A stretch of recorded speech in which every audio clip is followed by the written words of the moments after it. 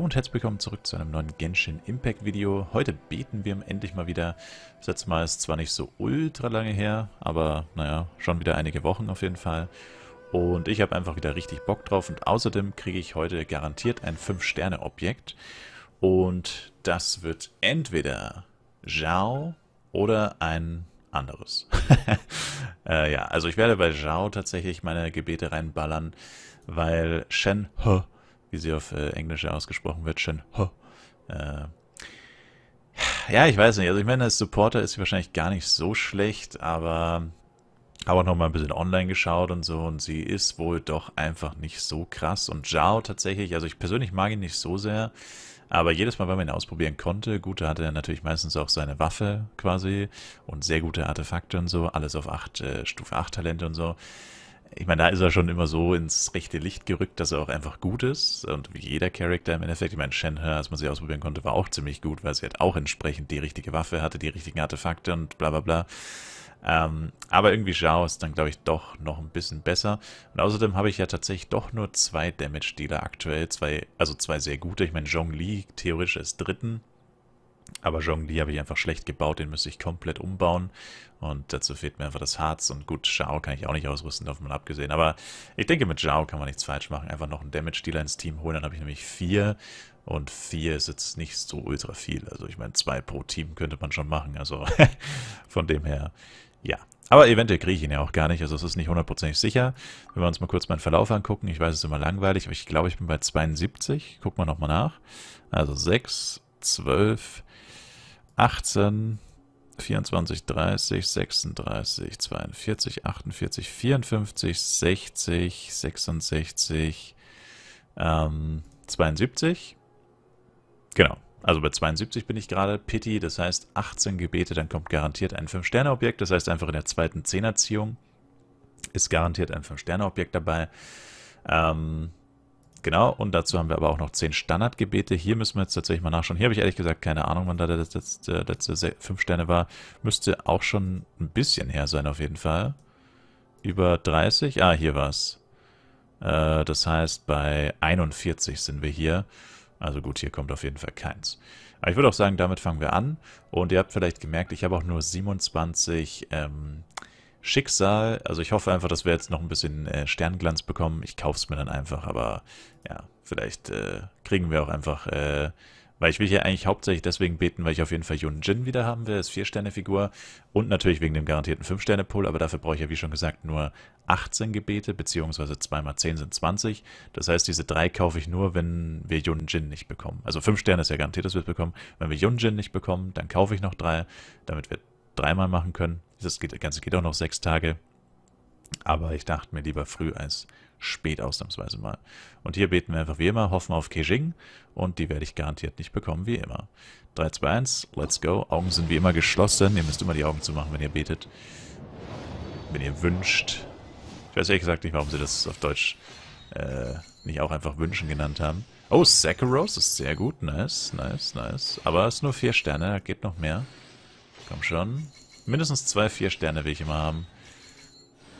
Dann ist es für mich ein guter Roll, auch wenn eben kein 5 Sterne dabei ist. Aber gut, 5 Sterne ist jetzt eh ultra selten. Aber zwei, vier Sterne ist schon ist schon desirable, weil einer ist ja eh garantiert. Also du kannst ja gar nicht schlechter sein als ein 4 Sterne. Das heißt, ja, schade. Man hofft immer, dass man zumindest zwei bekommt. Aber wie gesagt, ist nice. Kann man hier direkt auf... Äh ah, man kann direkt auf... Ist das neu?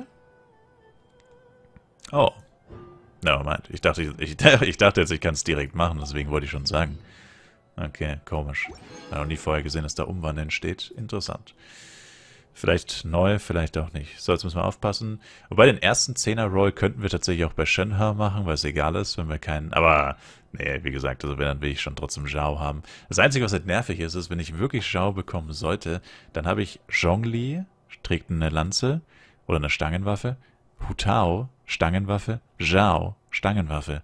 Dann habe ich drei Charakter mit Stangenwaffe. Aber andererseits muss man sagen, Shenhe trägt ja auch eine Stangenwaffe. Also von dem her, aber es ist, es ist halt so stupid. Ey. Alle meine Helden brauchen Lanzen, Stangenwaffen, whatever. ja, es ist einfach zum Kotzen. Und Yunjin auch wieder, wobei ich Yunjin eh nicht benutzen werde so schnell. Aber ja, 3, 2, 1, Augen sind zu, let's go. Wäre natürlich cool, wenn wir jetzt schon einen 5-Sterne-Charakter bekommen würden, weil dann spare ich mir einfach ein bisschen was. Und Yunjin natürlich, aber mal schauen. So. Aber Yunjin will ich schon haben, weil Thoma ist, glaube ich, der einzige 4-Sterne-Charakter, den ich bisher nicht bekommen habe.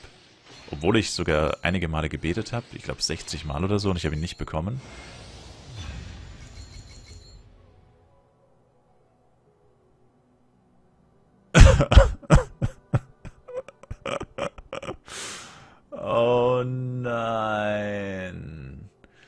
Warum, Mann? Ich bin der einzige Mensch auf dieser Erde, der Kishing nicht hat, Alter. Und der einzige, der sie haben will. Oh. Ja, ich habe Chichi noch nicht ein einziges Mal ernsthaft benutzt, ne? Das ist so ein Witz. Ah. Ah. It hurts, man. It hurts so bad. Ah. Wieso, Chichi? Wieso? Oh, Mann. Da wäre sogar Jean besser gewesen, aber Jean hätte mich auch aufgeregt.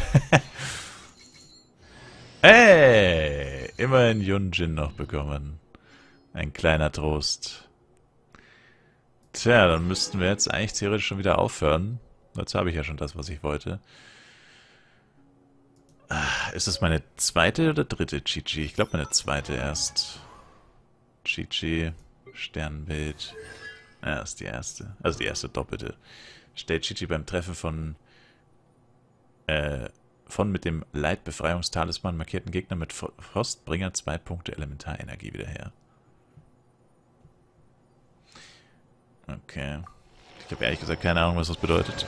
ich glaube, Leitbefreiungsbefreier ist ihre Ultimate, ne? Ne, ist es ihre passive? Doch, nee, Befreiung vom Leid. Nee, passt schon. Leid bei. Ne, hat schon gepasst. Ich dachte nur, die Fähigkeit heißt so. Nevermind. Ähm, ja. Ich habe sie, wie gesagt, noch nie wirklich benutzt. Also, keine Ahnung. Äh, yikes, man. Also immerhin bedeutet das, dass ich auf jeden Fall keine, keinen Sternglanz ausgebe. Das heißt, wir können mit dem Sternglanz gleich was anderes machen. Dann würde ich aber trotzdem sagen, beten wir einfach trotzdem noch zehnmal, weil, ja, jetzt ist ja die Garantie, jetzt sind wir quasi wieder bei Null. Wobei, jetzt ist sogar relevant, wir haben Chichi ganz am Anfang bekommen. Ach so, das wird ja noch nicht übertragen, das dauert ja immer ein bisschen. Nevermind, nevermind. Aber ja, wir haben Chichi doch gleich als zweites oder drittes bekommen. Das heißt, ich muss jetzt schon wieder bei siebener Pity sein, theoretisch. Also, nice. Aber das schaue ich dann nochmal nach, ob das wirklich so ist. Ähm, ja, dann würde ich sagen, hauen wir einfach nochmal zehn Gebete raus. Äh, weil Pity ansammeln geht ja immer. Und den Rest hebe ich dann auf, um bei Ganyu wahrscheinlich zu rollen. Aber das kommt ja erst in einer Woche raus. Bis dahin kann man ja auch schon wieder ein bisschen Urgestein sammeln. Und 3, 2, 1 Augen sind zu, let's go. Wäre natürlich heftig, Back-to-Back -back nicht garantierte 5-Sterne-Charaktere oder Objekte zu kriegen. Aber das halte ich mal für höchst unwahrscheinlich. Doppelte Yunjin wäre natürlich nicht schlecht. Chong Yun finde ich tatsächlich gar nicht so bad. Den kann man, wenn man Kryo braucht, eigentlich auch ganz gut benutzen.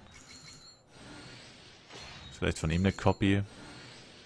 Das sieht gerade so aus, als würde ich gar keine 4 Sterne bekommen. Noch eine Yun Jin tatsächlich. Damn. What the? Lol. Alter, Triple? Triple Yun Jin? Damn.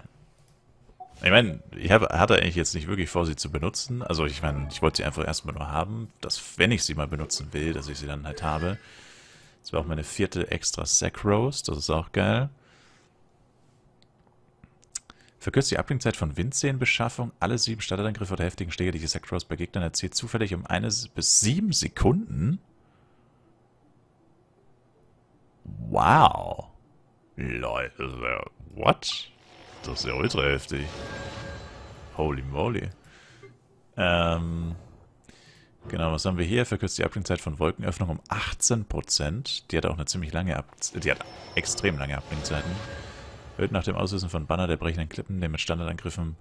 Okay, ein weiterer Buff.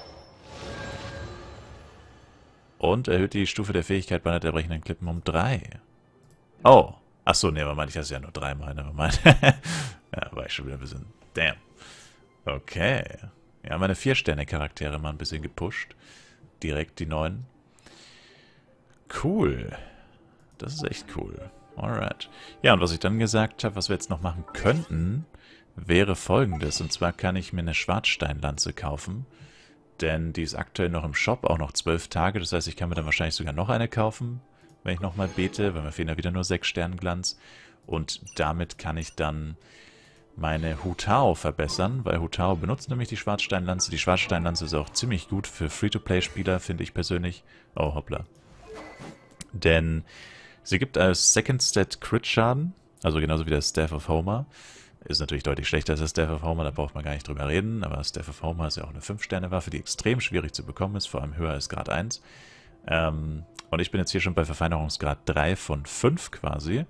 Und aktuell erhöht sie den Angriff beim Besiegen von Gegnern 30 Sekunden lang um 18%, dreifach stapelbar, also 3 mal 18, 54. Wirkungsdauer jeder Stapelung ist unabhängig. Und nicht nur das, das steht jetzt nicht dabei, aber die Stapelungen verschwinden nicht, wenn du die Figuren wechselst. Und deswegen ist die Waffe, finde ich persönlich, eine der besten Free-to-Play-Waffen im Spiel, weil man kann sie sich, wie man gerade gesehen hat, einfach für Sternglanz kaufen. Sternglanz kriegt man eigentlich ziemlich einfach, wenn man einfach lange spielt, lange betet und das halt immer aufhebt und nicht immer nur für Gebete, für neue Gebete raushaut, sondern eben auch mal für die Waffen ausgibt. Lohnt sich nämlich. Und ähm, ja, also ich finde es extrem gut. Ich sage nicht, dass es die beste Waffe ist, die man sich holen kann als Free-to-Play, aber es ist eine sehr gute. Und jetzt erhöht sich dieser Bonus um 3%. Schade finde ich, dass sich diese 30 Sekunden nicht verbessern. Also für jeden Grad nochmal eine Sekunde extra oder so wäre ganz cool, weil dadurch, dass es ja für jede Stapelung unabhängig ist, wären das dann effektiv 15 Sekunden sozusagen bei drei Stapelungen, äh, die du dann nochmal extra kriegen würdest. Also bei Grad 5, 5 mal 5 und dann 3 mal 5, äh, 5 mal 1 und 3 mal 5. Äh, genau. Das finde ich ein bisschen schade, aber jetzt ist der Bonus auf jeden Fall bei 21% und 3x21% sind wir quasi bei 63%. Vorher 54%, also definitiv schon ein gutes Upgrade. Und auf Stufe 90 ist die Waffe sowieso. Und auf dem letzten Grad wäre es dann 24%, das heißt 72% Angriff, den man sich da extra holen kann. Und wer Hutao kennt, 72% Angriff ist schon ganz schön saftig, vor allem noch mit den 55% Crit-Schaden. Also Hutao ist auf jeden Fall ein absolutes Monster mit dieser Waffe, auch im Free-to-Play-Bereich. Und echt cool. Genau, außerdem sieht die Waffe cool aus. Jo, und dann würde ich sagen, beenden wir das Ganze. War es erfolgreich? Jein. Also ich finde es... Es ist jetzt so crazy, dass man halt quasi die ganze Zeit, also man wartet quasi monatelang darauf, einen 5-Sterne-Charakter zu kriegen. Und ich finde es einfach ein bisschen schade, dass es einfach Charakter gibt, über die man sich halt überhaupt nicht freuen kann. Und gut, natürlich, wenn man Kichi, äh, Chichi voll ausrüstet, so wie sie am besten gespielt sein sollte oder gespielt werden sollte und äh, alles reinsteckt, was sie einfach benötigt. Ich meine, dann ist sie wahrscheinlich auch ein ziemlich guter Kryo-Held. Aber es gibt halt einfach Charakter, die man persönlich einfach nicht mag. Und es tut halt immer so weh, wenn man so einen bekommt. Ja, Jean für mich zum Beispiel auch. Ich meine, ich habe Jean auf Sternbild 2 oder so. Also ich habe sie schon dreimal bekommen und benutze sie einfach überhaupt gar nicht, weil ich den Charakter einfach nicht mag. Ich mag die Fähigkeit nicht so sehr. Und ich habe für sie sozusagen dann einfach keine Verwendung irgendwo, weil ich sie halt nicht so krass pushen will. Weil Character pushen durch Artefakte und so weiter und so fort kostet nun mal verdammt viel Ressourcen, verdammt viel Harz. Und entsprechend macht man das halt nur für Charakter, die man auch gerne spielt. Oder ich zumindest als Free-to-Play-Spieler. Und da, ja, wie gesagt, gibt es halt auf jeden Fall einen echten Konflikt, wenn man da den falschen Charakter bekommt, den dann überhaupt zu benutzen. Äh, also ich persönlich kann mich nicht dazu überwinden. Also ich benutze die meisten Charakter, die ich nicht mag, einfach überhaupt nicht. Egal, ob sie vielleicht nicht doch gar nicht so schlecht wären, wenn man sie dann ein bisschen pushen würde. Außer ich brauche sie unbedingt. Ich meine, dann würde ich mich natürlich schon dazu, also wenn ich jetzt unbedingt einen Kryo-Helden bräuchte oder einen zweiten Animo oder so, dann ja. Aber das ist aktuell zumindest noch nicht so dringend der Fall. Außerdem ist Chichi ja kein so guter Kryo-Held. Sie hat auch extrem lange Abklingzeiten. Also wenn man jetzt wirklich Kryo-Fähigkeiten braucht, ist Chichi keine so gute Wahl. Da würde man dann eher zu einem 4-Sterne-Chongyun oder so greifen. Oder Keiya. Auf jeden Fall danke euch fürs Zuschauen. Würde mich selber in deinen Kommentaren Abo von euch freuen. Bis zum nächsten Mal. Ciao, ciao.